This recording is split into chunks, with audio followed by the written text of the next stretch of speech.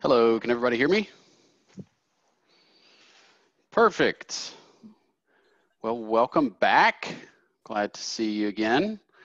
Uh, so we're gonna do the same thing that we did before. And I'm going to make sure that everybody's muted first, uh, just in case.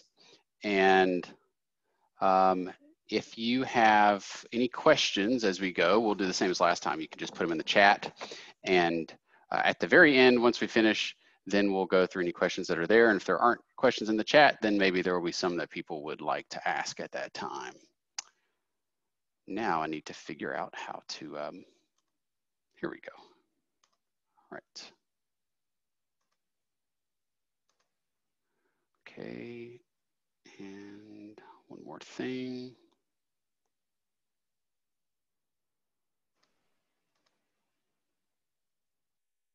Okay. Great. So, uh, like I said, welcome back. Glad to have you last time. Uh, if you didn't get to see the lecture on the Renaissance, then I sent that in an email to those of you that are registered for the class. And if you are not registered, that's totally fine. Or if you registered since I sent that email, then you obviously would not have received it. And you can go and look on the Auburn University Samuel Ginn College of Engineering's YouTube page uh, and find the lecture on the Renaissance there. Uh, so we're already recording for today. The plan will again be to upload this particular lecture to YouTube. Good, so Leonardo da Vinci, 1452 to 1519. Uh, in the grand scheme of history, if you think back on the Renaissance lecture and you think about the timeline, this is not that long ago. Uh, it's, well, it's almost exactly 500 years ago when, the, when Da Vinci died. And I think I mentioned last time, we were lucky enough uh, during the study abroad program in 2019 to be in Florence, where of course, unsurprisingly, Leonardo da Vinci is from, uh, on the 500th anniversary of his death. So that was kind of a cool time to be there. All right, I'm not sure how many of you are uh, trained in, so let's say, mechanical engineering, but I'm sure a lot of you have had some sort of physics or at least exposure to physics, and so you're familiar with laws of motion and, and things like this. So here's the question. A body in motion, this is a question of who said it. A body in motion desires to maintain its course in the line from which it started. Every movement tends to maintain itself, or rather, every body in motion continues to move so long as the influence of the force that set it in motion is maintained in it. Body in motion tends to stay at motion and a body at rest tends to stay at rest. So who said it? You're all muted, uh, so you can't answer it, but I, I want you to be thinking to yourselves, who said this? The natural answer to this is Isaac Newton, because that's actually one of his three laws of motion, which is a body in motion tends to stay in motion and a body in rest tends to stay at rest. But this is not a Newton lecture. This is a Da Vinci lecture. So believe it or not, Leonardo da Vinci said this. And what's more amazing is he said it about 200 years before Isaac Newton said it. So Da Vinci, we know, was a genius, did a lot of amazing things. One thing he did not do a good job of was to write his stuff down and publish it. And we'll talk a little bit more about that later. Okay, so let's, uh, let's go to the next one. Who said it? This is a fun game. In the context of a bird's wing, as much force is exerted by the object against the air as by the air against the object. Right? Every action has an equal and opposite reaction. Who said that? Well, Isaac Newton said that, but of course, Leonardo da Vinci said this particular quotation. Once again, about 200 years before Isaac Newton. No one knew he said it though, that was the problem. So here's a nice quotation about Da Vinci. He said, he appeared as the ultimate Renaissance genius, we talked about Renaissance man last time, capable of anything who had apparently envisioned or invented every device and anticipated every discovery of the ensuing centuries over the next 500 years, basically. Da Vinci thought about it. He may not have perfected it, but he definitely thought about it, at least most of the major machines that we can think of modern day. Okay, so a little bit more. Da Vinci's work describing the nature of the human form can be used to begin a discussion that draws attention to the overlapping interests of movement analysis science. That's what we do in the motion capture lab at Auburn. And the creation of visual artworks that comment upon the body corporeal, you know, the body as a whole. So this is movement science, Da Vinci's work in movement, movement science, and then you know we're all very familiar with Da Vinci's work in art, You think of Mona Lisa primarily when it comes to that. Okay, I like to start with quotations. You probably remember that from last time, but let's look at where he's from. So this was helpful for the students when we were in Florence because it gave some really good context. So if you know much about Italy, you know it's divided into regions. And of course, Florence is considered the capital of the Tuscany region. So in the blue up top and the top right, the boot shape, of course, is Italy. And then the yellow is Tuscany. And then Florence sits right there kind of in the middle of that. So Leonardo da Vinci, if you think of da or de, uh, means from or of, and that's where that's where he got his name. He was Leonardo from the town of Vinci. So Vinci is actually a town. And that town is about 28 miles from Florence, if you're curious. So from the very first slide, you hopefully remember that Da Vinci was born in 1452. You may be surprised to know that he was an illegitimate child.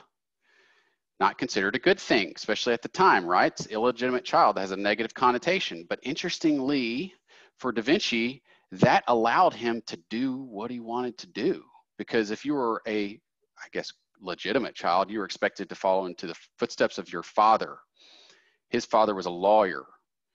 Da Vinci was an illegitimate child. He had no obligation to do what his dad did for a living to carry on the family business. Interestingly enough, he didn't even have any formal education. Leonardo da Vinci had no formal education. If you think about that for a minute, that's quite incredible. So he was actually raised by his grandparents, which is which is pretty interesting too. But eventually he decided he wanted to live with his dad. Uh, so he moved from Vinci, he moved to Florence, mid late 1460s 60s, and moved in with his father. While he was in Florence, he did an apprenticeship with someone named Andrea del Verrocchio. So you might have heard the term Verrocchio's workshop. Verrocchio is considered the master of Da Vinci.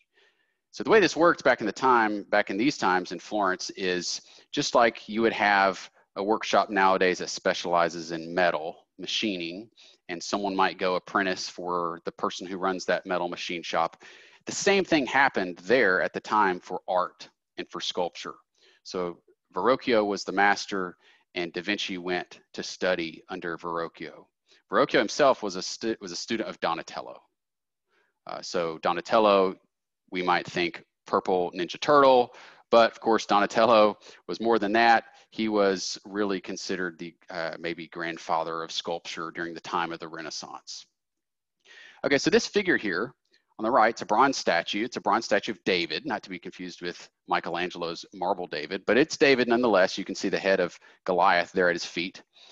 And it's thought, this was made by Verrocchio, it's thought that it's modeled, at least the face and the hair, after Leonardo da Vinci as a boy. So if we wanted to understand what Da Vinci looks like, this is really the best indication that we have of that. So while Da Vinci was working in this workshop, this is a sculpture workshop, and they specialize uh, on the classics. We talked about that last time, humanism, uh, prioritizing ancient Greeks and Romans. And what did they sculpt? They sculpted people, sculpted people. And so in this studio, there were limbs and torsos and heads and all these things laying around. And we know Da Vinci developed an interest in the human body. So in 1478, Da Vinci broke off on his own and he became his own independent master. Da Vinci moves around a lot. It gets kind of confusing sometimes. It was kind of confusing for me to figure it all out when I was reading through all of this. Uh, but basically, he followed work. Da Vinci was really a pacifist, but he ended up working a lot for the Sforzas in Milan. If you remember from the previous lecture, Milan was known for their fighting force and their army, and Florence was known for their money particularly the money uh, controlled by the Medici family that we talked about. So Da Vinci went to Milan in 1483, worked as an engineer, architect, sculptor, painter, you name it, he did it. And this is when he painted The Last Supper. The Last Supper is a mural. It's on a wall. It's actually elevated on the top of a wall. It's not a painting in a classic sense, like on a canvas that you might think about. And really, people didn't paint on canvases back then. They painted on wood. But this is a mural. So this is the Last Supper. It's the famous scene, of course, of Jesus and the disciples, and he's taking, uh, you know, the bread and the wine, and this is the night before he's crucified. So this is at this point in time is when Da Vinci painted this. It's it's actually been a huge problem over the years, over the course of 500 years, because it was painted on plaster, and that plaster degrades and falls apart, and the color breaks down. So it's been a ton of work for people that have been trying to to fix that painting and and um, and, and you know keep it maintained over the course of time. It's been very difficult in that sense. Okay, so he's in Milan, and then you know this is a tumultuous time in history. And so France invades Milan, 1499. So Da Vinci says, I'm out of here.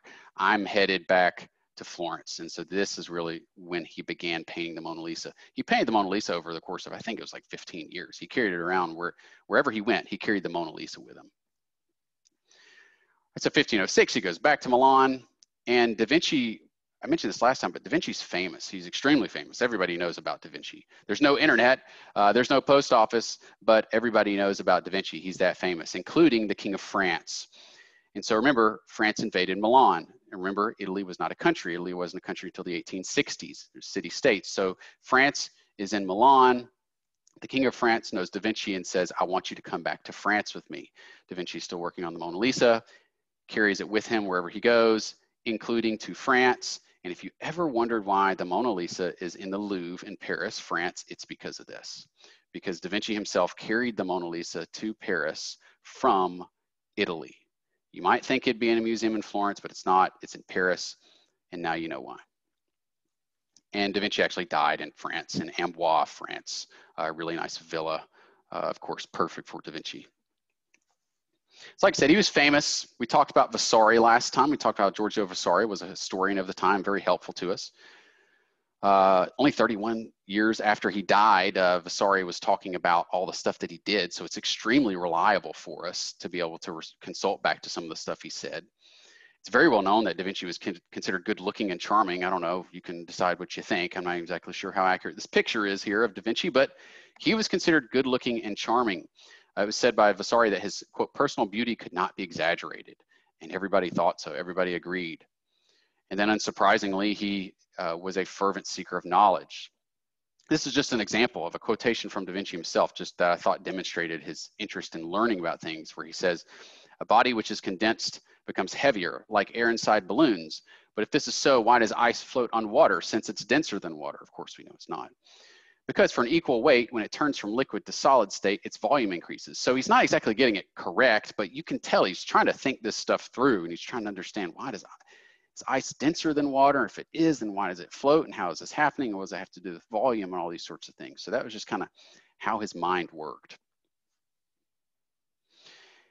and, and I have here he was somewhat disorganized, but he's really incredibly disorganized. Uh, da Vinci was, he didn't care about being organized. He didn't care about being famous. He didn't care about publishing his work. He just cared about learning and building and doing amazing things. That's all he cared about. So it's hard to read some of his stuff. So accordingly, he had all this unfinished work, including unfinished paintings. You can go in the Uffizi Gallery in Florence and see a huge unfinished painting of Da Vinci. It's kind of interesting because you can see the drawing and where he was going to paint. It's thought that it's because he was a perfectionist and so he never could get to the point where he could just sign a painting and say, I'm done, it's perfect. He always had to work on it. The Mona Lisa, I talked about working on it for 15 years. All right, so here's some here's an example of one of his sketches. He's sketching some, some sort of architectural plan. It seems to be of some sort of building, but remember he's disorganized. He doesn't care about writing things neatly and nicely and putting them in books and making them public. And so we see there's a list here above this house. And do you see that?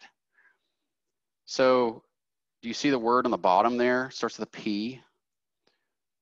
Now he's speaking Italian, and actually an interesting side note here is, is that the Italian language really originally was the Tuscan dialect specifically, and that was ultimately adopted as the Italian country's official language. So that's what he's speaking. He's speaking what we know as Italian right now, and I say speaking, he's actually writing. Uh, but of course, it's a Latin language, very similar to Spanish, so P-O-L-L-O. Anybody know what that means in Spanish, pollo? Right? Any Mexican food fans? Chicken, right? So what is this list? It's his grocery list. so here Da Vinci is drawing these architectural plans and writing his grocery list above it, what he needs to pick up from the grocery store. Another interesting thing about Da Vinci is he wrote backwards. He, his handwriting was literally mirrored. That's not a flipped image there. I know it's hard to read. Well, it's hard to read anyway, but it's it's mirrored. It's backwards kind of incredible. So why did he do that? Um, I don't know. Why did he do that? I tell you what, we're gonna, we're gonna try something. I'm gonna try something. Let's do this.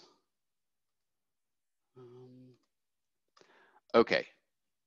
I have made it such that you can unmute yourself. So uh, let's see, any brave souls? Why did Da Vinci write in mirrored handwriting? Any idea?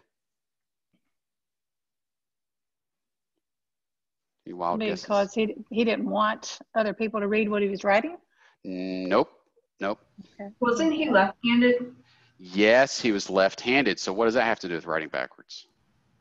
It's uh, you don't you have time for the ink to dry.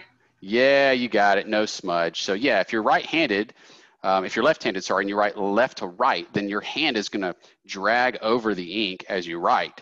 And so instead, what he chose to do is he chose to write uh, right to left with his left hand in mirrored writing, and therefore he didn't have these smudges. So really a, a testament to his genius to be able to do that sort of thing. Okay, so his contributions to engineering, we already talked about Da Vinci.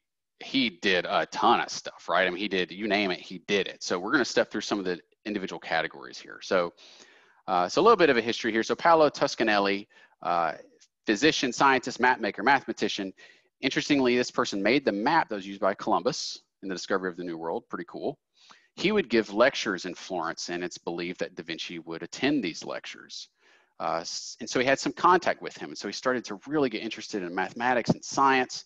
And this is where it's believed that Da Vinci developed his original initial understanding of mechanics. Now, as mechanics, as mechanical engineers and physics students and science students in general, we think mechanics, we think of Isaac Newton.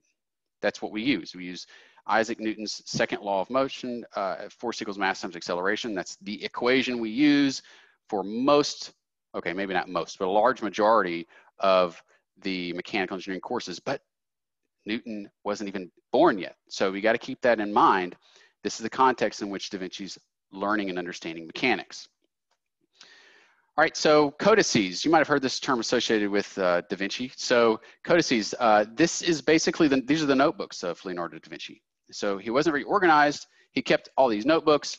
And here's a list of the ones that we know of because there are actually, we know of 6,000 pages, but it's believed that there's twice that that actually he had written. We just don't know where they are. Uh, so again, they're not very well organized uh, or somewhat repetitive. And you can see where they're located. There's one in Milan, I guess two in Milan. There's one in London. Um, actually, there's a number of them in London owned by the, uh, the royal family there. There's a moving display. Um, and so you, can see all these uh, here uh, spread throughout. So these are basically Da Vinci's notebooks. Okay, so continuing with engineering mechanics, uh, these are some somewhat doctored up uh, figures from, from his notebooks just to help it be a little bit clearer. Uh, but he definitely had the letters, he had the figures there and everything. And if you're a mechanical engineering student, you're starting to recognize a lot of this kind of stuff. This is, this is where it came from. This is how uh, our block on an inclined plane was inspired, was primarily by the work of uh, Da Vinci and his counterparts such as Galileo during that time. So you can see all the ways working all this stuff out. Here's kind of a cool one, action reaction. Anybody know what this is? What are we looking at? What is that? It's exactly what you think it is, maybe. Is that a seesaw? That is a seesaw. Very good. That's a seesaw. Yeah. So that's uh, Da Vinci's drawing. It's a seesaw. He talks about two men balancing on seesaw. A stoop and a jump by the first man must be coordinated with a push by the second. Action, reaction again. But once again, way before Isaac Newton. And Da Vinci's thinking this through. So he, he talked about kinetic and potential energy, talked about different shapes placed on different slopes produce different degrees of energy. Uh, that's what we talk about in, in some of the, the classes that I teach and the students take is, is if you take a mass and you change, if you increase the elevation of that mass, if you lift it up and put it at a higher shelf, then that's gonna have an increased potential energy. And Da Vinci was talking and thinking about these sorts of things in his notebooks. He talked about gravity. He says gravity is caused by the attraction of one element to another, and that's absolutely true. Says gravity occurs when one element is placed above another element that is lighter than itself. Well, I'm not exactly sure what he's talking about there, but uh, it sounds like he's kind of describing the effects of gravity or really kind of getting at back to potential energy if you take an object and you raise it up a certain height. Friction. Uh, da Vinci studied a lot about friction, and this is our fir first known quantitative investigation of friction. And uh, if you consider the field of tribology, which may be a new term to you, but that's the study of, uh, well, essentially friction, basically, uh, it's it's considered iconic in that field. And I mentioned for the block on an inclined plane problem, classic problem in, in physics and mechanics. I mean, you can see, you can look at this stuff. That's what's going on. He's uh, he's studying the effects of friction on blocks sliding on planes, hanging masses from them, things like that. And then this is an interesting example here. We've got a mass, we've got this block, you can see it, and you got a rope coming off to the left. And uh, he says, for every sliding weight, the quarter part of its gravity is that which gives effort to its movement. So what's he saying? He's saying if the block weighs four pounds, then it takes one pound to pull on the rope to move it. You could see that, right? I mean, it's easier to push a box across the floor. You don't have to push the weight of the box when you want to push a box across the floor. So what's he talking about? Well, he's talking about the coefficient of friction. That is the coefficient of friction, is in this case, 1 divided by 4.25, uh, which is the force required to pull the object across the surface divided by the weight of the object itself. And this was way before any of the work, uh, the traditional work was done in the field of tribology and friction. He looked at the effects of contact area on friction. He looked at, okay, if I've got, in this case, five blocks that are laid horizontally, they're connected, not pull on them, is it gonna take more to pull on them and slide them than if I, maybe if I stack them all up vertically and now only one of those blocks is touching the table? Turns out it's actually the same, which is kind of interesting. And I wouldn't necessarily look at that, think that. Uh, the contact area is a five to one ratio. You can, you can see that.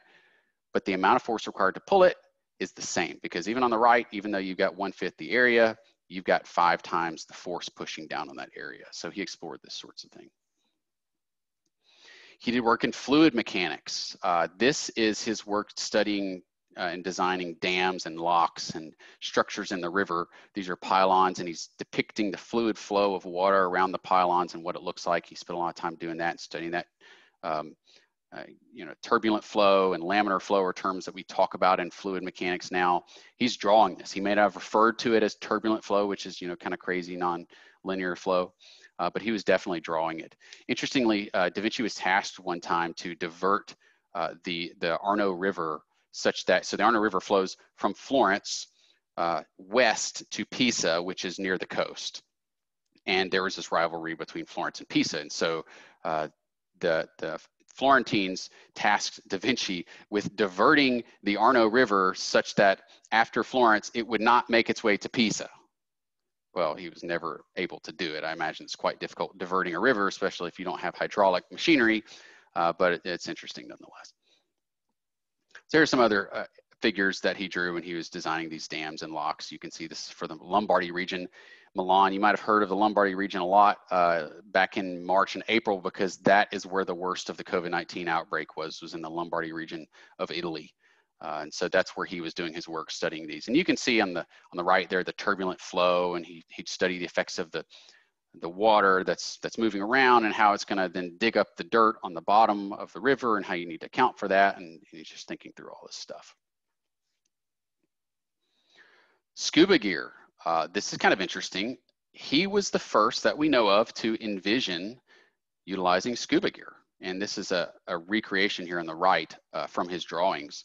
Uh, but he thought about it. He said how can we put a man underwater uh, give them an air supply and allow them to to operate underwater without having to come up for air.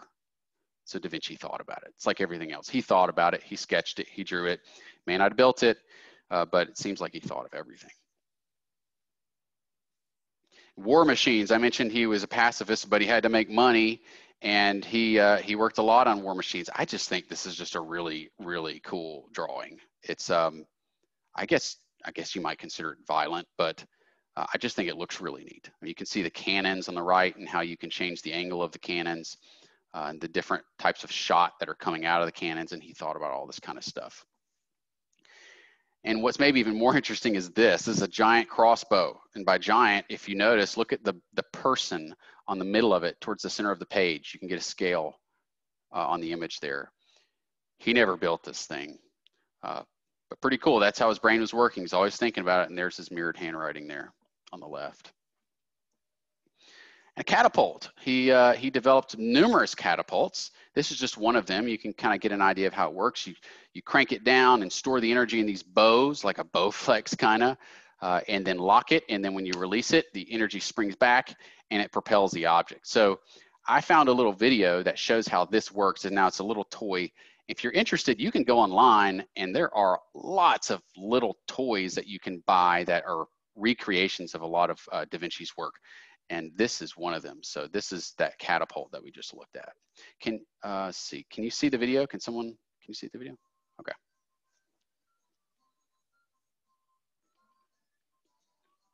Are you getting any sound? You don't need it for this video. I'm just curious. No sound. Okay. All right. That's fun. There's Renaissance music playing in the background. So. You see the kind of ratchet mechanism right there, and they're going to crank it down and lock it in place. There's the bow structures.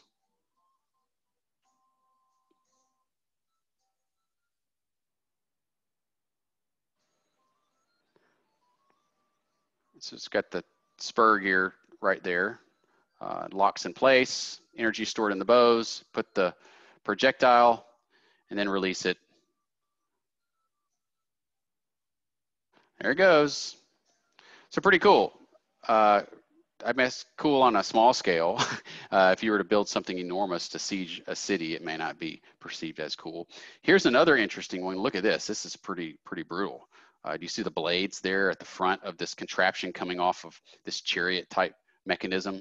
Uh, they're meant to be turned with gears, constantly churning, and there's an even more violent uh, depiction that Da Vinci drew of this where there are limbs laying around the ground and, and people are cut in half and that sort of thing. So um, I don't think this was ever built either, but you know, he's, he's thinking about some cool stuff. So what about the thing in the bottom there? Does anybody know what that is?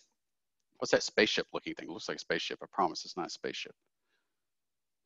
Now I can't see the chat, so um, you know, if that's fine if, if people put stuff in chat, but I'm just, it's hard for me to see the chat. So feel free, shout it out. Anybody, what is that thing?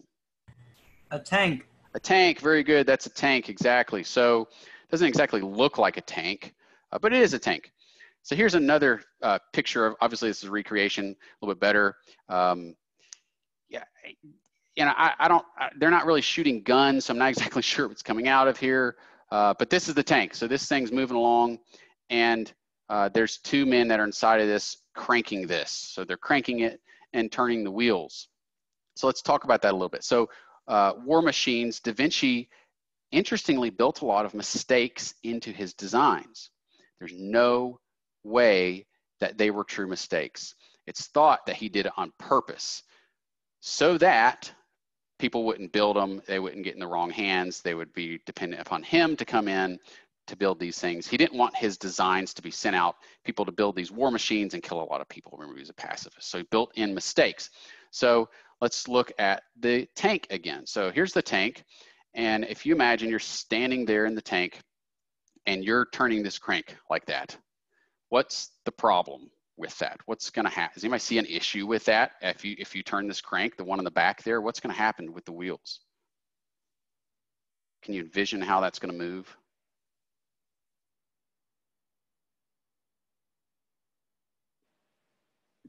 It's just gonna go in a circle. Yeah, well, so what's going to happen is the wheels are going to turn opposite directions. so it's not going to go anywhere. Uh, now, now, how could? Okay, so here, here's an even better question. What's one way? What's one easy fix he could have done to prevent that from happening? Anybody? Any brave souls? He could have. He could have positioned one of those driving gears slightly differently. Any idea?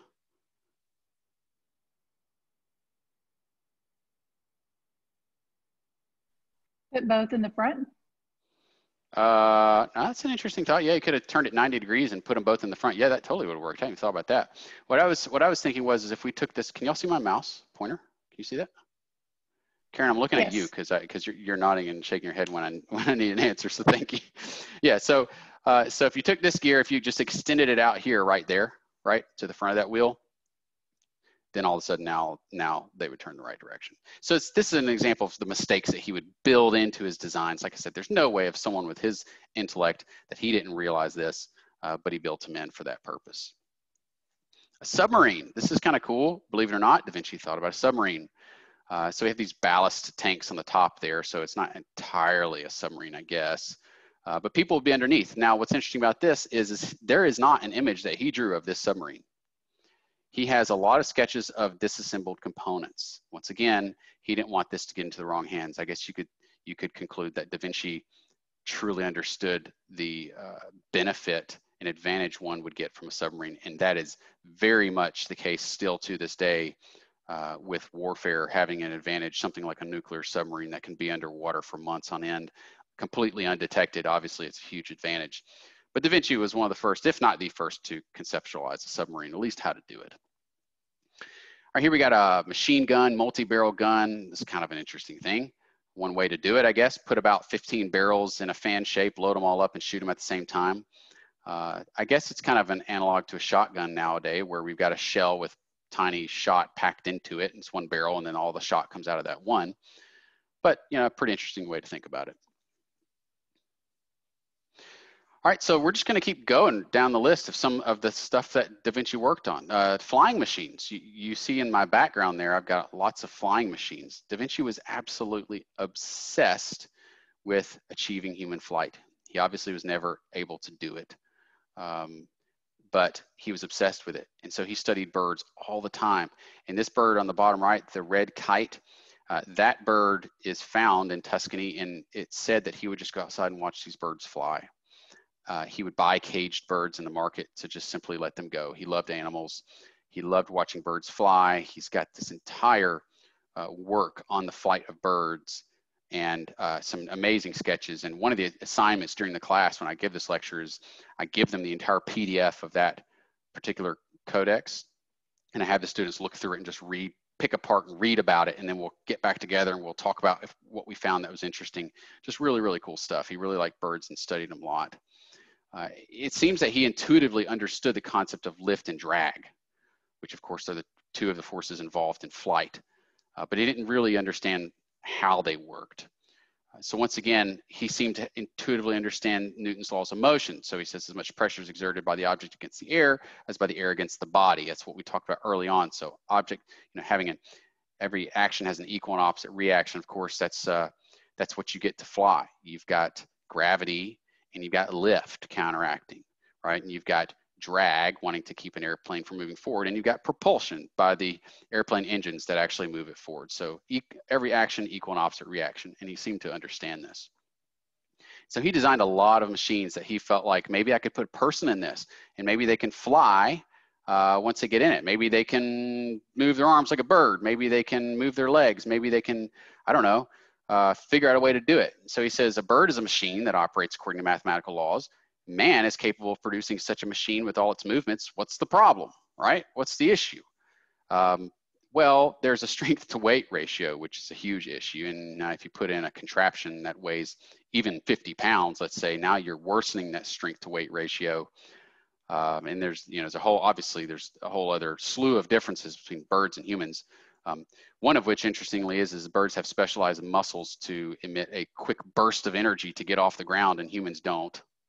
Uh, we have muscles that can can they're kind of middle of the road. They, they're good for endurance and they're good for short bursts, but they're not great at either one of them.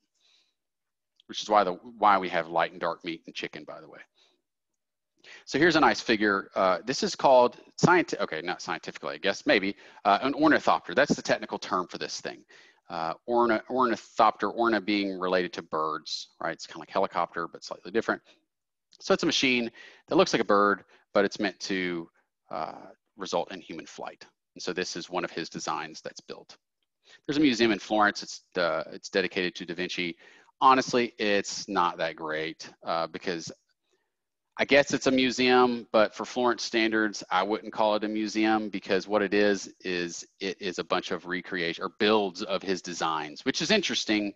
Uh, but you know, if you think of the context of a museum and the David and Da Vinci's paintings in the Uffizi Gallery, it's you know, it's it's not the most exciting thing. But you know, if you're ever there, it's probably worth seeing. All right, uh, helicopter, flying machines. Not really a helicopter, I guess, but you could definitely call it a flying machine, and it definitely rotates and has a rotor.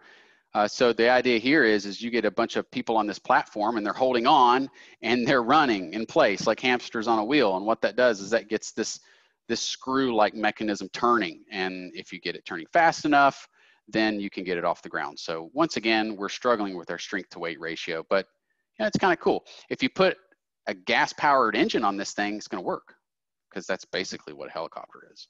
But there were no gas powered engines at that time, of course. And then a parachute. Da Vinci thought of a parachute. So this drawing, of course, is not to scale. The one on the right is uh, apparently they built this parachute with the dimensions provided by Da Vinci, and sure enough, it worked, uh, which is kind of neat. There's a video on it uh, of it online if you ever get a chance, want to go look at it. I really, really hope they did some test runs with some uh, simulated human weight first before they threw this guy out of an airplane, or at least he had a backup chute. Uh, but that's kind of cool that it seems to have actually worked. Now, of course, modern day parachutes are round and dome-like shaped, but you could see this. This, this kind of makes sense. All right, let's do this. Let me pause for questions. We're a little over halfway, so I'll pause for questions. Taylor, have you been have you have you looked at the chat? Is there anything in the chat worth uh, worth bringing up, or are we good? Uh, no, we're good. There's no Okay. uh, major questions Good. there. Okay. Any thoughts, comments, questions? I got a question. Yeah. Where do you, where can you see these codices that he has and other than going to these places? Can, are they all online? Um, I don't know if they're all online, but they are. Some of them are online, and that's where I got the the uh, the codex specific to bird flight. And what's really cool about that PDF uh, that I was able to download is that one side of the page is his original, and then the right side of the page, left side's his original, the right side is a cleaned up version of it. Remember the cleaned up figures I showed earlier? So that's really cool because it allows you to read it. It's translated and cleaned up, which is how the students are able to read it. But yeah, you can find a lot of these online, definitely. Um, but but of course, you know, if you're ever in Milan or London or Venice, actually has some. Venice, that's where the Vitruvian Man is, is in Venice. Uh, if you ever if you're ever in any, any of those cities, definitely uh, obviously want to go check it out and see it.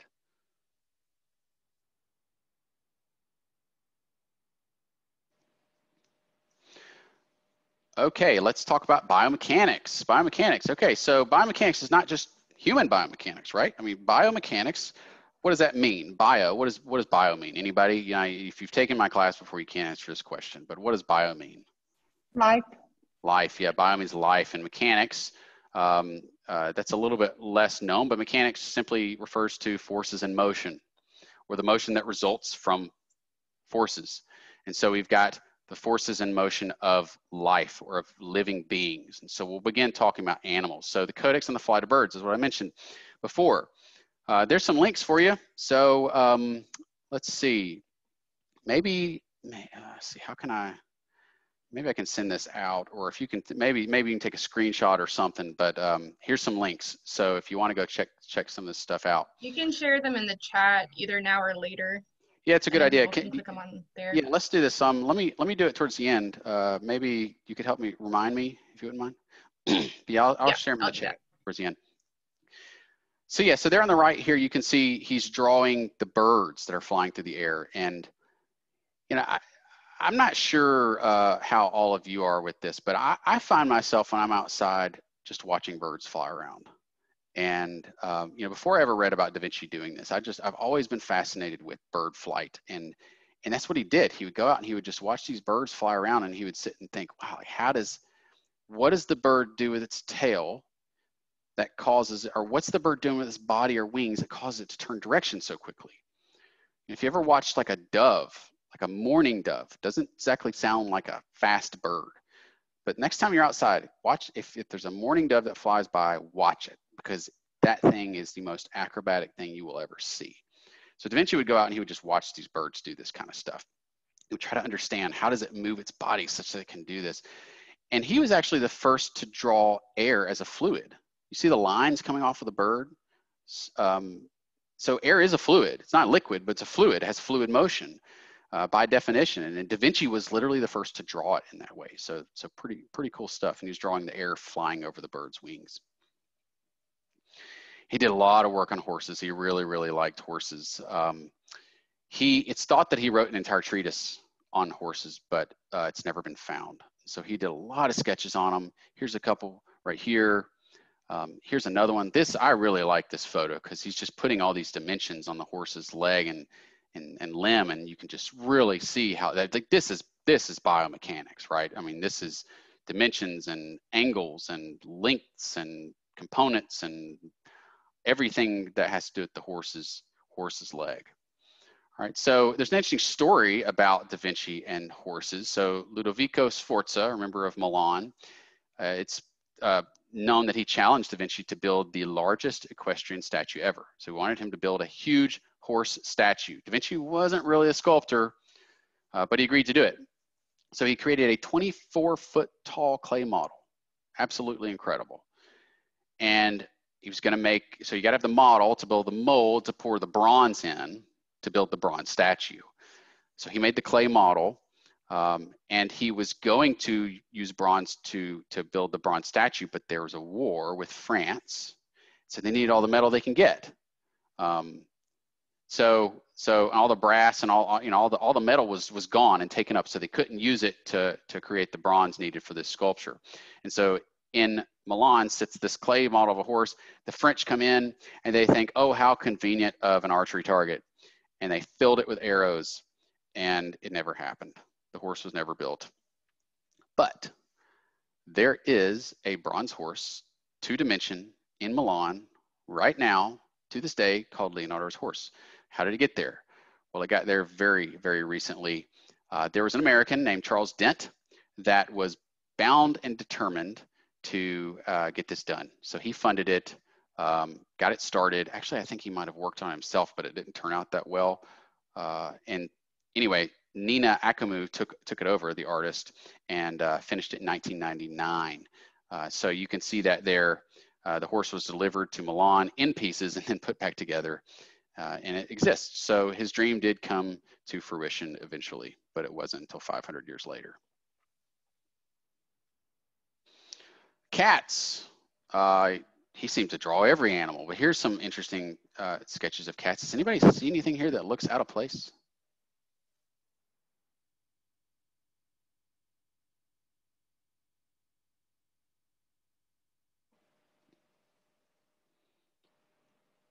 Jacob said a dragon in the chat. Yeah, box. it's a dragon. so exactly. Yeah, I don't know. Uh, I don't know where that came from, uh, but he he drew a dragon. So um, interesting stuff. In the middle of all of his cats, he drew a dragon. Okay, so let's talk about humans and human biomechanics. So we know Da Vinci very much appreciated the human body, had a deep understanding, deep appreciation to it of it, and he likened it to planet Earth. So I think this is kind of neat. He says we may say that the Earth has a spirit of growth and that its flesh is the soil its bones are the successive strata of the rocks. Its cartilage is the tufa stone. Tufa stone is a stone that's used to build buildings a lot in Italy. Its blood, the veins of its waters, the lake of the blood that lies around the heart is the ocean. Its breathing is by the increase and decrease of the blood in its pulses. And even so, in the earth is the ebb and flow of the sea. So he's likening the human body to planet Earth. Lots of similarities going on there. Pretty cool stuff.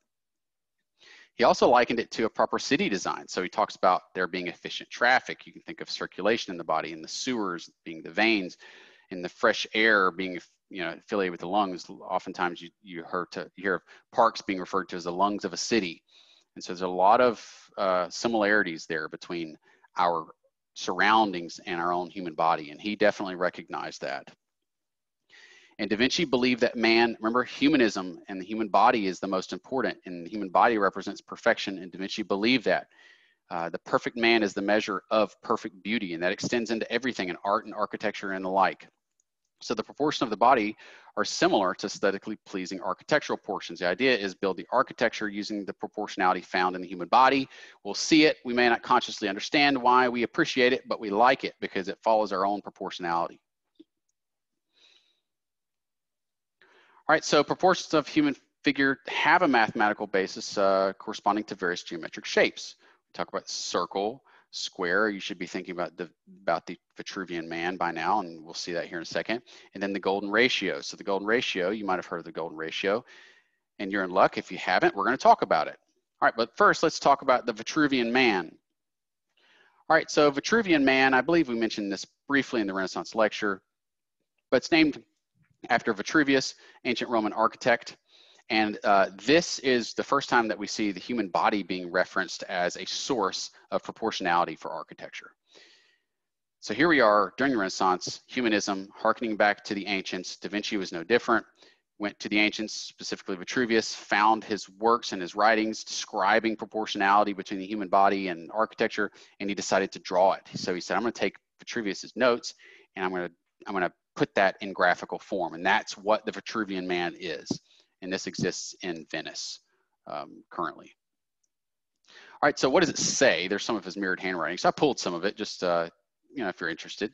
So here, Da Vinci says, Vitruvio, architect, puts in his work on architecture that the measurements of man are in nature distributed in this manner. That is, a palm is four fingers. That kind of makes sense, right? A foot is four palms. A cubit is six palms. Four cubits make a man. A pace is four cubits. A man is 24 palms. And these measurements are in his buildings. So once again, we're using man's proportionality and dimensionality to uh, build around us. And, and we can relate to this, right? If you think about the relationship between our own body and our own experience with our measurement system, it's absolutely related. You think uh, your heart beats at about one time per second. Uh, it's pretty obvious the measurement of a foot and where that comes from.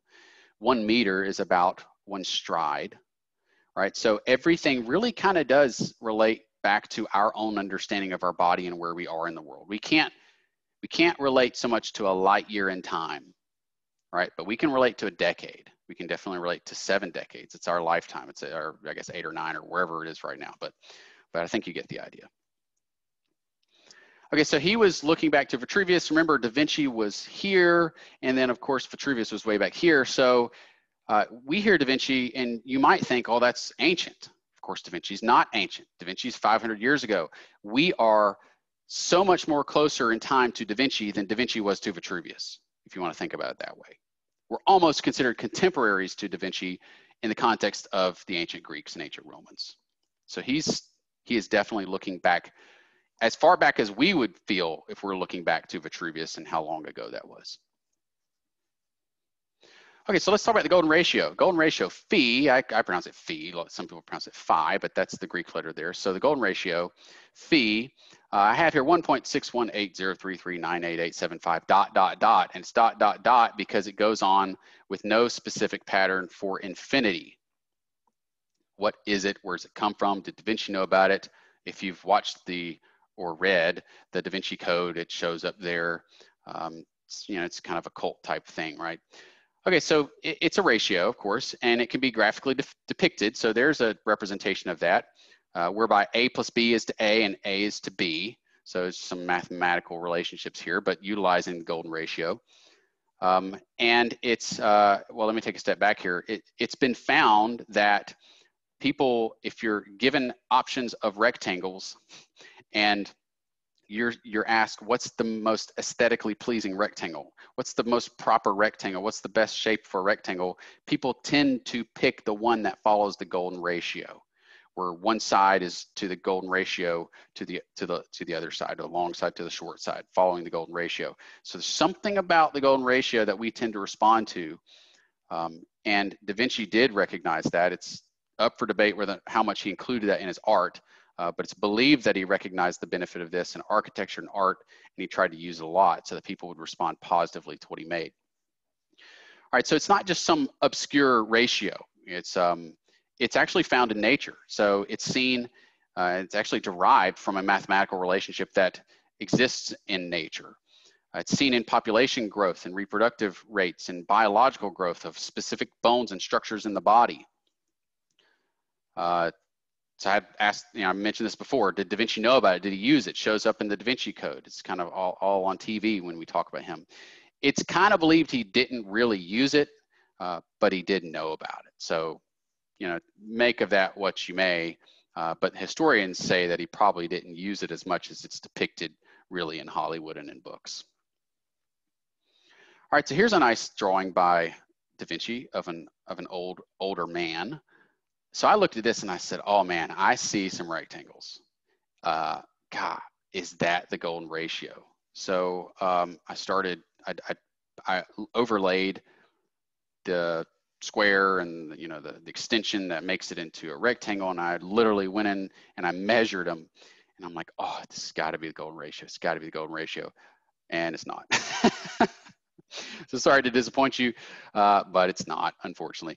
There, if you if you go online and Google golden ratio Da Vinci, you're gonna find whatever you want to find trying to prove that he knew about it and he used it. I mean, here's some examples.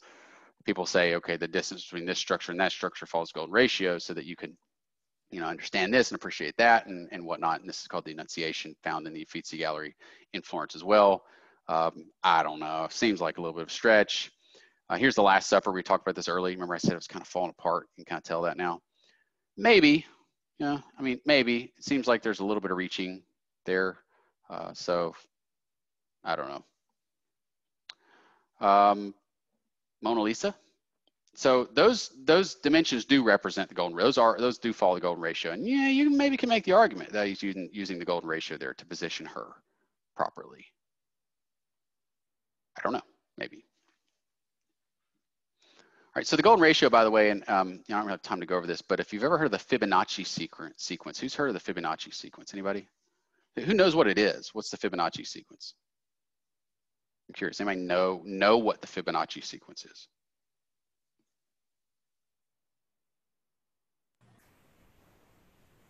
It's a sequence of numbers where the, the last two numbers add to get the next number. You got it. Yep, that's exactly right. So it goes zero, one, one, two, because zero plus one is one and one plus one is two. And then the next number would be three because one plus two is three. So the pre two preceding numbers added together give the next number in the sequence. That's the Fibonacci sequence. And uh, there was a, a thought experiment uh, done by Leonardo Fibonacci uh, where he talked about Fibonacci's rabbits.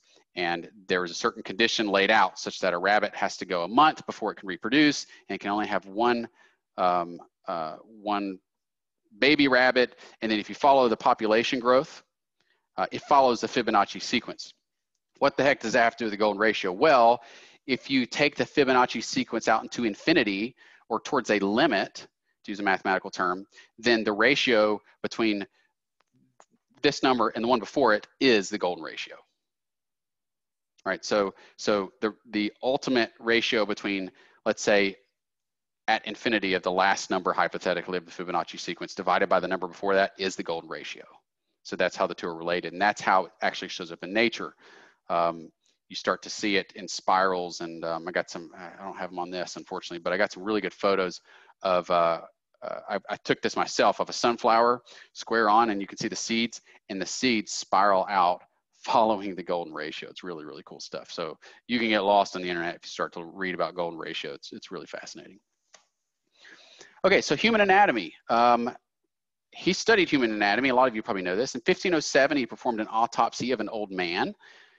Spoke with the man, spent a lot of time with him. Right before he died, it said that the man was 100 years old, not in pain, just he was pretty weak.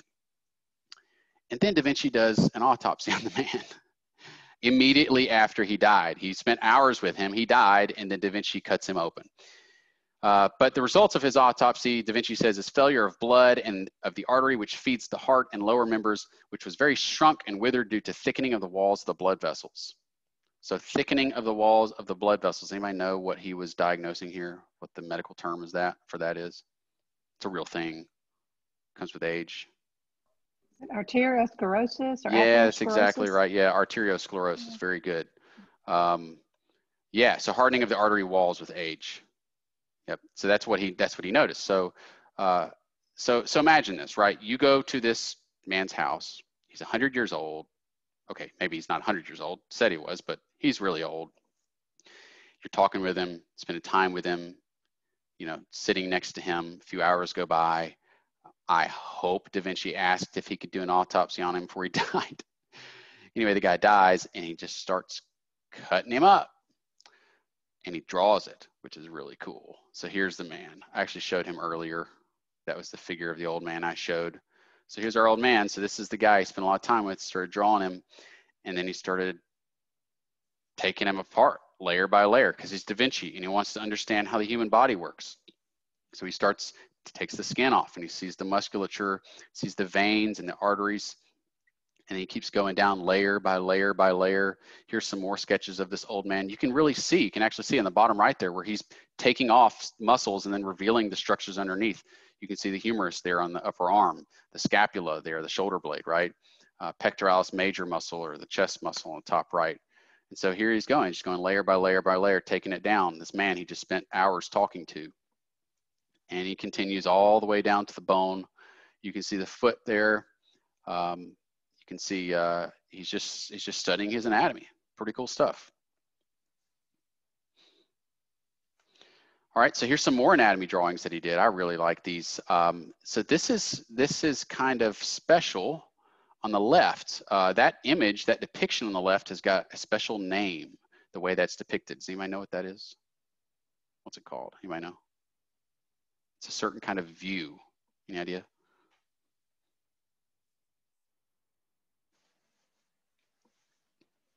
So it's called an exploded view. And so uh, that's something that students in engineering learning, they learn how to do when they do computer-aided uh, modeling is they model uh, an object, let's say with multiple components and screws and fasteners and, and the like, and then they're often required to provide an exploded view. So what you do is you take all the parts and you just separate them out. But you draw lines between them and where they connect to the other parts so that you know how they go together and helps you to understand how um, a complex object is, is built and is organized. Well, Da Vinci was the very first in history to do this. And he did it with human anatomy. You can see it there. He's taking the uh, cervical spine vertebrae and providing an exploded view of that. So on the top, you got the C1, right? That's right below the skull, C2, C3, that sort of thing. And then he did it with uh, not just the cervical spine. There's one showing the ankle, the ankle joint, right? We've got um, uh, the tibia and the fibula, the talus, uh, the lines connecting the two. And you can see how he's, he's understanding, trying to understand how these parts come together. All right, so um, just some more images here. I just like them, so I put them in because I think I think they look interesting. You can see the deltoids and the biceps brachii and all the complex muscle muscles and musculature of the forearm. He's studying all these and drawing these with incredible detail. Just this just wasn't done before then.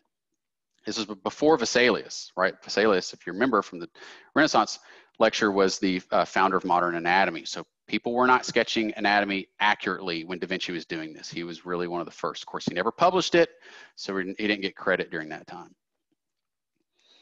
All right, so here's some more. So this is interesting in the context of biomechanics. So this is a femur and a tibia, uh, primarily, and fibula, right? This is the leg, uh, the bones of the leg, but it looks like ropes are connecting, right? It looks like ropes are connecting from one part of the bone to the other part of the bone. So the question is, what is he doing? You can see it here, it's a little bit better. Uh, well, what's he's what he's doing is he's depicting what we call the line of action of that muscle. Like if you were to take a single muscle and condense it down into one rope, what's it doing? Where does it connect on both ends and, and how is that force acting? That's what he's depicting. And that's really important in biomechanics, especially in biomechanical modeling. This is software called OpenSim. And what you do is you start with a skeleton that's articulated at its joints and then you decide where you place are you well you place specific muscle origin and insertion locations where they begin and where they end and you build models this way and da vinci was doing this way back in uh, 1500 of course all right so we study the hand a lot the hand is, is quite complicated anatomy and so if you know anything about how the hand works it's really cool because the way it works is is you've got basically tunnels or archways you can think of them ligamentous archways that go at over different parts. And then underneath those archways is a tendon. And that tendon connects to the very end of the finger. And the tendon comes down here and then turns into muscle down in the forearm. And so if you, here, I'll encourage your camera's not on. I can't see you making a fool of yourself. Everybody do this. Take your hand and do this and feel your forearm. Like it's the muscles in your forearm that are actually moving your fingers. So the muscle here contracts and shortens and pulls that tendon that then curls your finger down. So I'm I'm a big bird hunter. I like to quail hunt, and uh, I I brought a bunch of quail home. First time I did it, I brought them home and I was cleaning them. And the way you clean them is is you have to you have to cut their legs off at the knees. I mean, it sounds terrible, but I mean, you all eat chicken, so you know, I'm sure you're fine with it. Somebody's got to do it, right? So, so I was doing it. So, you know, I cut the leg off at the knee, and I'm um, using these shearers. And what was really weird was is the bone cut through, but the tendon didn't, and it tightened the tendon and that bird claw wrapped around and grabbed a hold of my hand. uh, because it's purely mechanical. It was not a good feeling. I can promise you. I learned uh, to not, even if I know it's coming, I just can't do it because it's the creepiest feeling in the world, you know, and that claw just wraps around. But it's because it's purely mechanical. Uh, and Da Vinci understood this and he drew that and you can see that there. So we actually built something in the lab um, that took advantage of this. It's a glove that you, we put this wire through and the wire, when you heat it, it shrinks. It's called nitinol, it's shaped memory metal. And so um, what's really cool is here you can see this video. We apply a current to the wire and the wire shrinks and it curls the finger. So this glove is on a wooden artist's hand. There's not, it's not my hand, it's not anybody's hand they're doing that. It's on a wooden hand. And so like I said, that wire shortens in length when you heat it. So when you run current through it, it shortens and it curls it up. So we're just taking advantage of what Da Vinci studied and what Da Vinci knew there. Another thing, another uh, neat thing about the hand too is, is there's a lot of redundancy with the nerves in the hand. And so I had a surgery, I had uh, surgery right here. I had a cyst removed from my, from my wrist when I was in grad school. And uh, one of my, one of my teachers uh, was a hand surgeon. so I was taking an anatomy, an anatomy class from her and she was a hand surgeon at Stanford Hospital. And uh, she did my surgery. So I was chatting with her before surgery and, and she's telling me how she's going to cut a nerve here. And I'm thinking, wait, you're going to cut a nerve on my hand? Is that not going to be an issue for me? And she said, well, don't worry about it because you've got so much redundancy in your hand that you'll never know the difference. And that was absolutely the case. I never knew the difference. Um, you know, maybe, I guess she cut a nerve, but I could never feel it. All right, so like I said, Da Vinci influenced Andreas Vesalius, who of course we know by now is considered the modern, I'm sorry, the father of modern anatomy. Okay, here's another link. I'll try to put it in the chat. Remember to put it in the chat. I don't have time to go through them because I want to show a video. It's 701, so if you'll bear with me, this is an, it's an eight minute video. I think y'all can handle an eight minute video, right? You can handle an eight minute video. Probably sick of hearing me talk anyway. So, all right, so let's do this. So uh, this is called Salvator Mundi. You may know what that means. Any idea? Salvator Mundi, what does that mean? Well, who is this, by the way?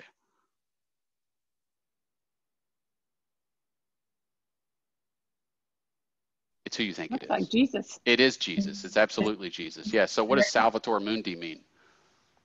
I recognize Mundi from singing in Latin choir, but I Okay, so tell good. you what it means. Savior of the Jacob says that it's a savior of the world in the chat. Jacob? Jake, Jacob's answering all my questions. you know a lot. That's great. All right. So yes, you're absolutely right. Uh, sa- savior of the world. So Salvatore, salvation, savior. Mundi means world. So this is Jesus Christ, Salvatore Mundi. All right. Jesus is holding an orb, a glass orb. There's a problem with the glass orb. The problem is if this were a solid glass or crystal orb, then the image behind it would be inverted because of the physics of light. But it's not. So the question is, did Da Vinci really, Leonardo da Vinci, not know that? It's unlikely. And if he didn't, and it was painted on, is it even a Da Vinci? This is, by the way, the most recent confirmed Da Vinci painting. So, or some believe maybe Da Vinci knew it, but he kind of subtly was illustrating the power of Jesus. Jesus can bend light. I don't know, maybe. Seems like a little bit of a stretch, but there's some thoughts. So what I want to show now, it's I'm gonna have to pull up uh, YouTube because actually, you know what? I have the video. All right, so I'm gonna stop sharing. If you'll bear with me, I'm gonna pull it up. And what we're gonna watch is the Christie's auction of the auctioning of Salvador Salvatore Mundi, uh, which, by the way, I found out recently was found uh, in a house in Louisiana. Seriously, I guess it came via France, right? New Orleans, French culture, uh, found in Louisiana, and someone bought it, I think, for a thousand dollars. Okay, so thousand dollars. Keep that in mind as we watch this video. Let's see. I'm gonna have to uh, do something real fast before it'll go here. I don't know if I would be able to sell it, even if it sold for tons of money. It'd be tempting, Just wouldn't have it? it in the corner. Yeah, yeah. But um, your security system would cost more than uh, than uh, you know you could probably ever make in your lifetime. Okay, all right. I need to share this. And then I need to reconfigure this, optimize share. Okay. And um, Taylor, can you, I don't know if I'll be able to see chat when I start this. Can you shoot me a text to confirm that you can hear this once it's starting, please?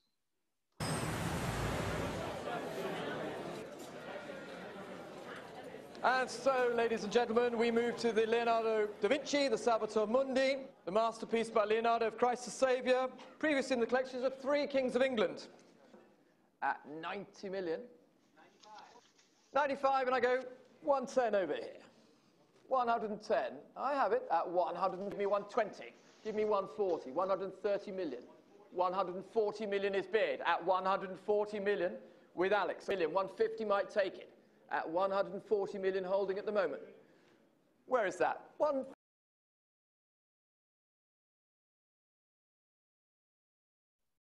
It's not sharing anymore. I don't know if it uh locked out or something.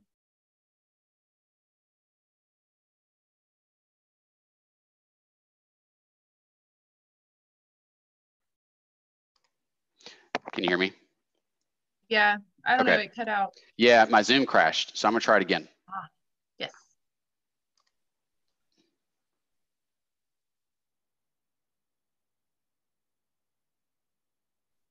Give me just one second.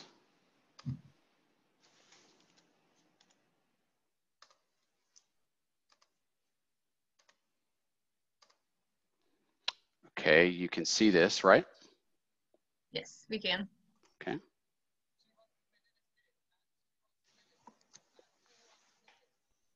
The audio is not on though. Okay, thanks. Yeah, no problem. Have to jump through all these hoops to make sure it works. hmm Give me 10 at 200 million that work? is bid. 200 million is here, currently hanging with Alex. Yeah, that right works. at 200 million for the Leonardo.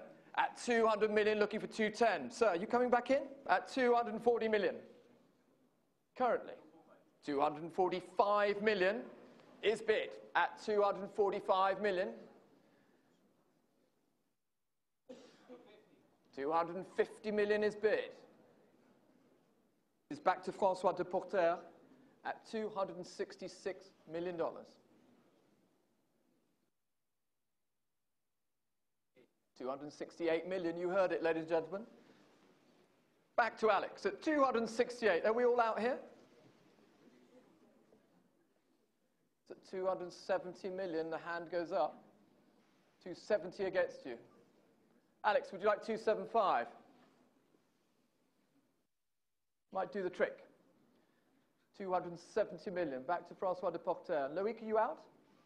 You all done? Want to pop back in with a five? 280. 280 million. The increment of 10 million, ladies and gentlemen, at 280 million. With Alex. At 280 million dollars. Are we all done? Maybe not. Don't take the photograph quite yet. 286 million. 286 million. Will you give me 290, Alex? 300. I thought so. 300 million.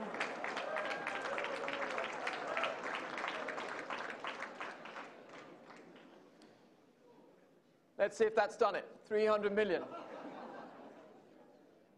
At 300 million is still with Alex. At $300 million for Salvator Mundi by Leonardo da Vinci. At $315 million. Not yours at the moment. Give me a bid. Three, 318 is bid. The hand went up. At 318 million now at $318 million. With Francois, 320 million, we're still not done. At 320 million. At 320 million now. Give me five, Francois. 320 I have. 320 million. I'll have to hurry you. At 320. 328 million. 328 million. Back to Francois de Poortere. 330 million. At 330 million now.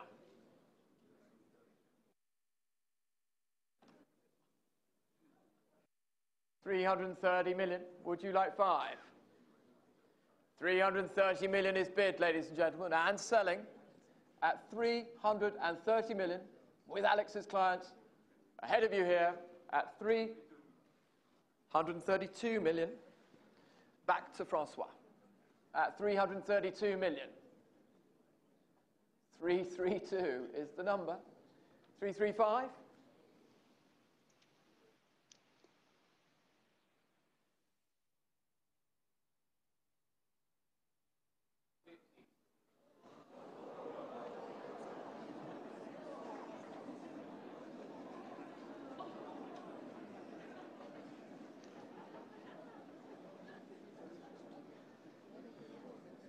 For those of you following online, you may not have heard it. The bid was 350 was called on the telephone at 350 million for Leonardo Salvator Mundi. At 350 million. Here at Christie's at 350 million and looking for another bid, please, Francois, at 350.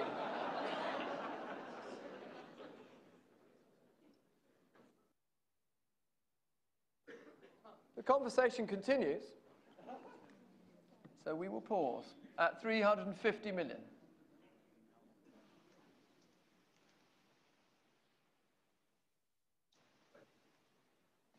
Three hundred fifty-two million.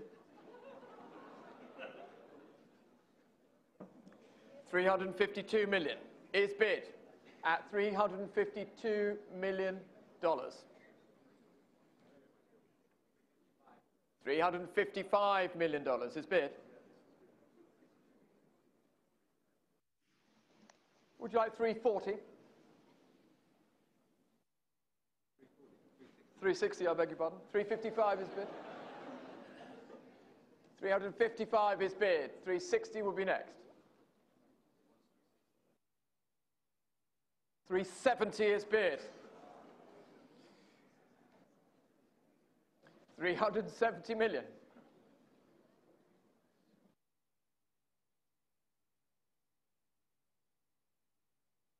370 million. Back to Francois' clients at 370 million dollars, ladies and gentlemen. 400 million.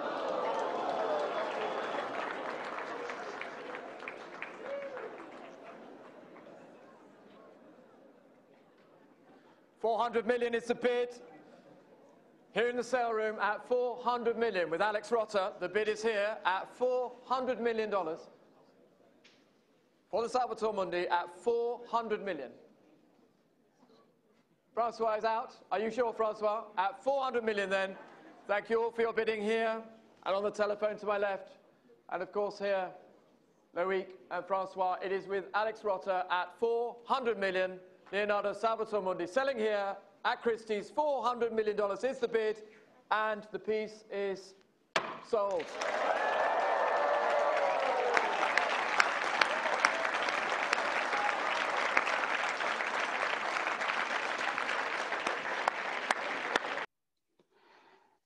All right. So, can you imagine? Taylor, do you want to reconsider selling? I'm not going to say that I can be bought, but maybe I wouldn't value it as much as I had thought. so, can can anybody imagine uh, being able to spend four hundred million dollars on anything. So I know it's kind of a lengthy video, but uh, I, I thought it's it's helpful to watch just to really get a clear understanding of how valued Leonardo da Vinci's works are to this day. And I always probably ad nauseum talk about what you can see in Florence, but if you watch that and you think about how you can go to the Uffizi Gallery in Florence and over the span of 10 minutes see about five Da Vinci paintings. That's kind of incredible, right? So pretty amazing stuff. Um, okay, I'm just about out of time, so uh, I, I got about 15 minutes, I guess. So if we want to do a Q&A, I'll open it up for that. So any questions or comments? I had a question about the golden rule or the golden ratio. So, Sure. so even though uh, Da Vinci may have never known exactly what the golden ratio was, uh, do you think since he observed nature so closely and the fact that we were talking about how, or how you mentioned the golden ratio seen in biology, nature, and fertility, or any of those concepts, do you think just as a byproduct of him just observing nature so intently, he subconsciously is able to to draw and paint using the golden ratio? The short answer is yes. And I would go so far as to say that I think he had a natural, maybe not conscious, but intuitive understanding of it to where he naturally understood the proportionality that works. And so he tended towards the golden ratio as opposed to getting out his tape measure and making sure that the Mona Lisa lined up perfectly with it. Um, if anything, I would think it would be that, that he just, his brain understood what humans perceive as being beautiful and he incorporated that into his work. But I'm not exactly sure. That's just my, my thinking.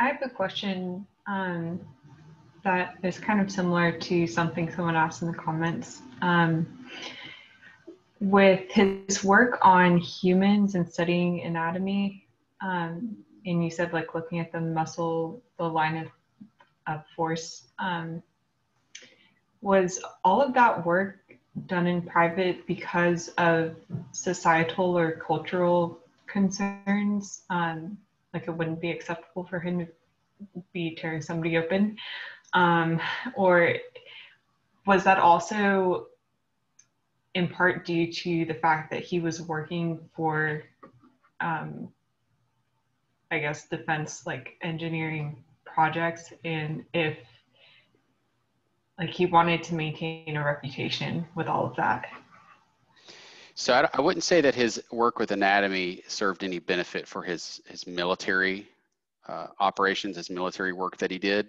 It seemed to be just his his own pure intellectual curiosity, and it's it was frowned upon by the church, but it wasn't persecuted.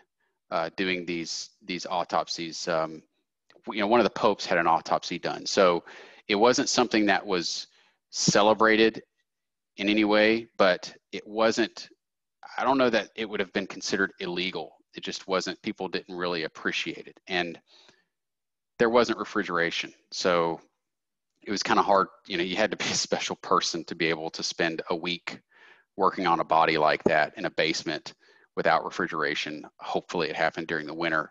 Uh, but uh, I, think it was just his own personal curiosity. He never caught any flack for it. There was never, he never got, in trouble about it. Um, it was, and that might be because people knew who he was and they understood it, and they said, you know what, let Da Vinci do what he wants to do. We're not going to question him. He's kind of crazy, but he does some amazing stuff, so just leave him alone. That's kind of what it seems like to me.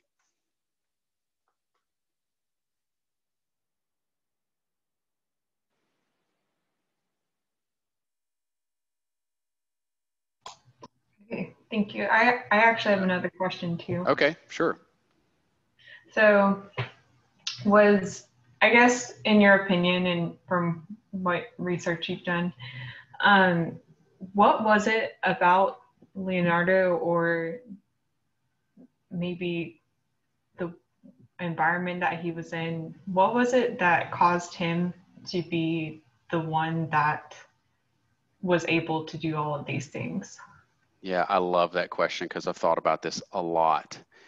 And the same goes for Michelangelo, right? Um, two and a half years carving the David, and you see what that looks like.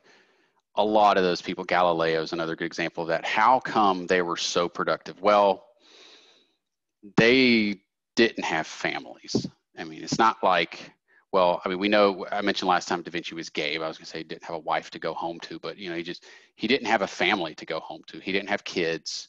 Uh, his work was his life.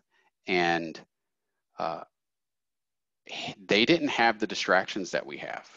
I was, I was at the National Gallery of Art in DC one time and I was standing in front of this big, huge painting. I mean, like huge, like 20 feet long. This guy was standing next to me. He said, how come people don't paint like this anymore? And my, my response was, people don't take the time to do stuff like this anymore, right? Who, who of you knows anybody that is willing to spend two and a half years working on a project with their hands? I mean, it's few and far between. There are people that do it, but uh, someone like Da Vinci, it wasn't a hobby. I mean, this is how he got paid. He got, it's how he made his money was doing this stuff. He had no life outside of it. And so he was, I mean, that combined with his intellectual genius, he was able to accomplish in his lifetime what would take a hundred people to do. Uh, so um, some of you that know me know that I spent, you can see, so if you look back here, you see that white carving right there at my thumb? so I carved that. That's my wife's face, by the way.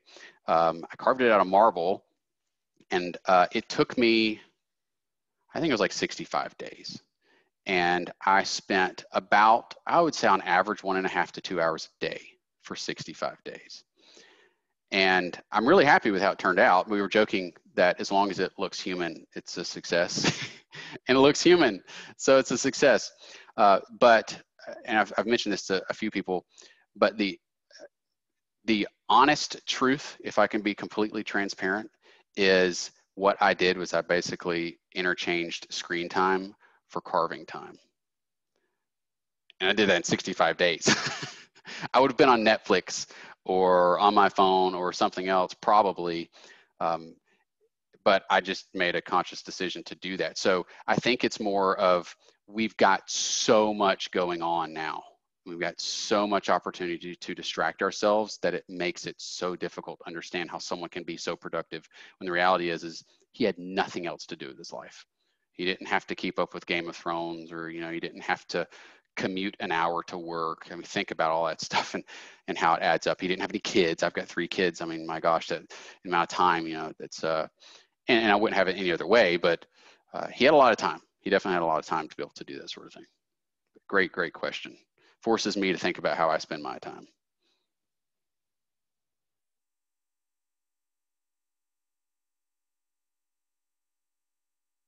Other questions?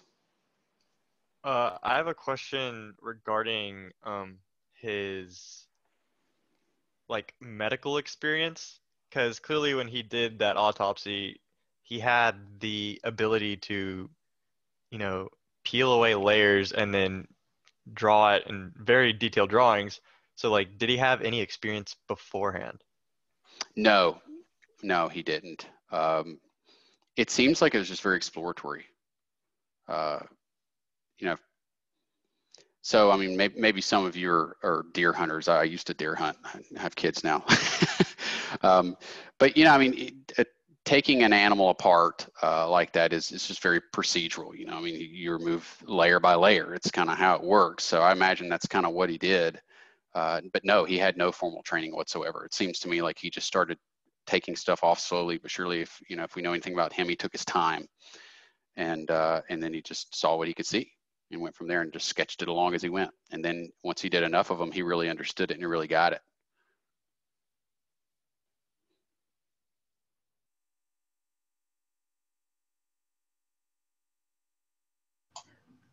Was he simultaneously working on um, the different inventions and different projects? Or um, was it more of like he would work on the paintings and then he'd work on engineering projects and then anatomy. Yeah, it, it seems as if it was uh, everything at once because he'd go to Milan specifically to work on military machines, but he's painting the Mona Lisa during that time. I think he did most of his human dissection in Florence, uh, but but it doesn't seem it, it wasn't like there was a military machine period of his life and an anatomy period of his life and a painting period of his life. No, it was just all the time. And then he used his study of anatomy to do better art. That was a lot of, and he had a true intellectual curiosity, but he used what he learned taking bodies apart to paint more realistic bodies. And so it wasn't a compartmentalized thing. It was all all kind of related. The military stuff was a lot of that was seems seems as if it was because he was being paid to do it. It paid the bills. Mm-hmm. And um, from what I've learned, uh, he was looking with the muscles at um, the point of origin and then insertion and looking at the um, muscle force line of action, like you were saying, and then also looking at nerves. Did he actually take a brain apart or start to get into like how um, brains work, I guess? He definitely studied the brain.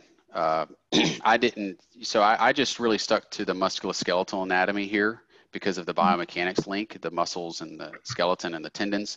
But he studied everything. I mean, he there's some really great photos if anyone ever wants to to look up some of the sketches of the anatomical sketches of Da Vinci, but some really great photos of skulls where he's removed just like a quarter section of the dome and he's taken it out. You can see where the brain sits. He's got a lot of sketches of, of the brain itself and then the internal organs and the kidneys and the heart and everything in the aorta. Yeah, he drew all that kind of stuff. He didn't he didn't really get much into the way it worked in terms of the electrochemical signaling between the brain and the nervous system and the muscles.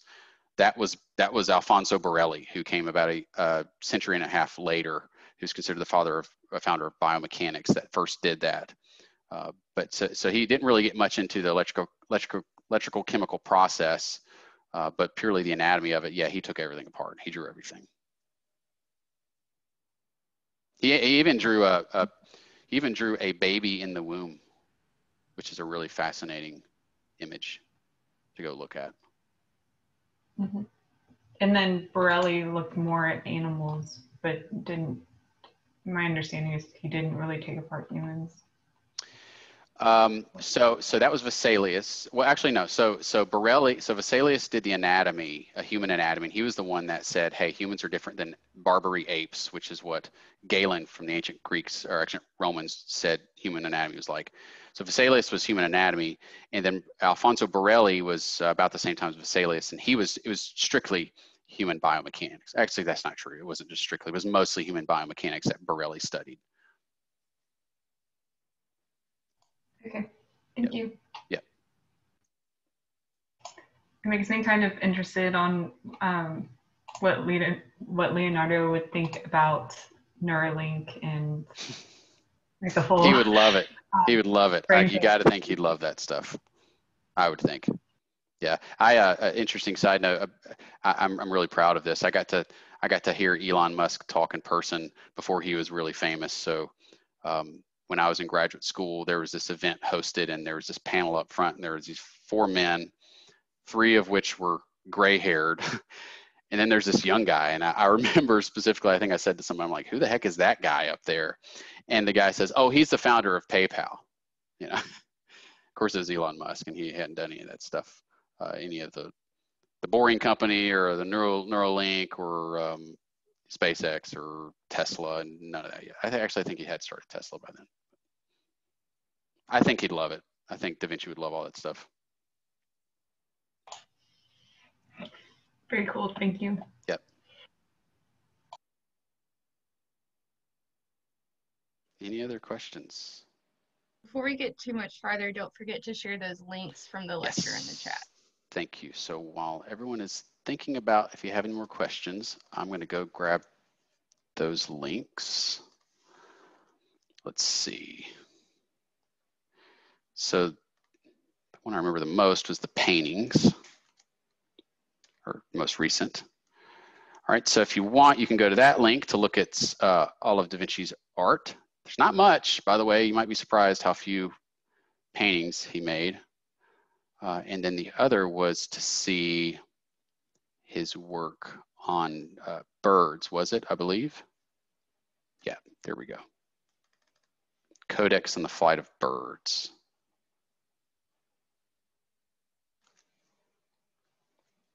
And I believe that's where you can go to download the PDF for the Codex on the Flight of Birds. Was there any more? I think that was it.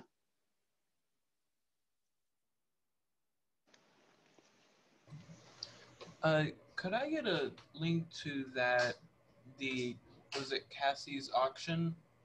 Yes, it was Christie's auction. Um, okay, so the easiest thing is so I I pulled it off of YouTube. I don't know, maybe I broke a law or something. I don't know. Hope not. We're still recording. Uh, but uh, if you just go to YouTube and Google Salvatore Mundi auction, you can find it immediately. That's just what I did. Yep, that's the easiest thing. I mean, that's what I would do right now if I were to go find the link. So, I apologize. Alexa's telling my children to go to bed. So if you're wondering what that voice is in the background. Other questions?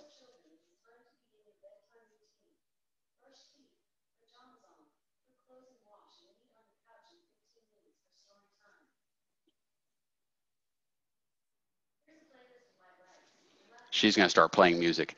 And it's 7.30, so maybe that's a good time for us to wrap up. Uh, feel free to email me if you have any questions. I very much enjoyed it. I liked unmuting everybody. I thought that was a better way to do it. So um, congratulations on, on that. That uh, I think that worked out really well. Um, no inadvertent unmuting going on. Yes, uh, I feel like, yes, Taylor, what you want to say? I just found the link for um, the auction from YouTube. Oh, yeah, can you put it in? Y'all were talking. Sure, okay. Yes, I did. I put it in the chat box. Oh, perfect. Okay, excellent. Excellent.